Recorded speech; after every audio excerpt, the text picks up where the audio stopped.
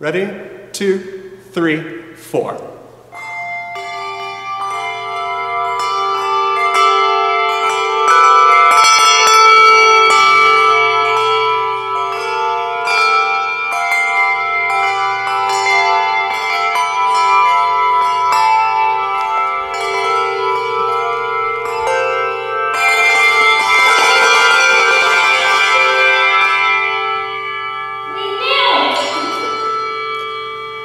I think what's making them smile this week is seeing how much they can frustrate me. But what's making me smile this week is the fact that I'll have my real bell choirs here starting this week and next week, both for our advanced adult bell ringers as well as new beginners um, to the bells and even kids and youth. Um, so that's what's making me smile this week, and I'm looking forward to being able to make music together with people again.